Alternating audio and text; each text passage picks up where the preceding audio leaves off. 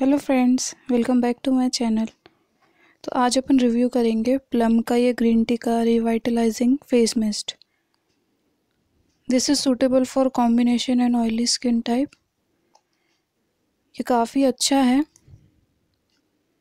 इसकी M R P है three sixty rupees two years की शेल्फ़ लाइफ है इसमें और ये हंड्रेड एम का प्रोडक्ट है।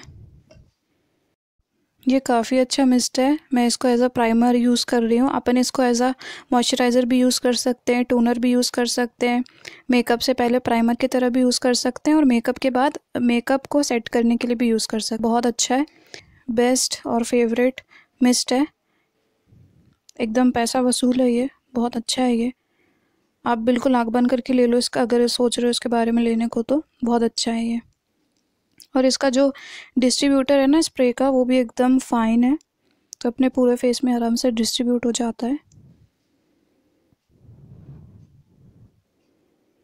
और थोड़ा सा ग्लो भी देता है। तो यही था मेरा आज आज का short and simple video bye thanks for watching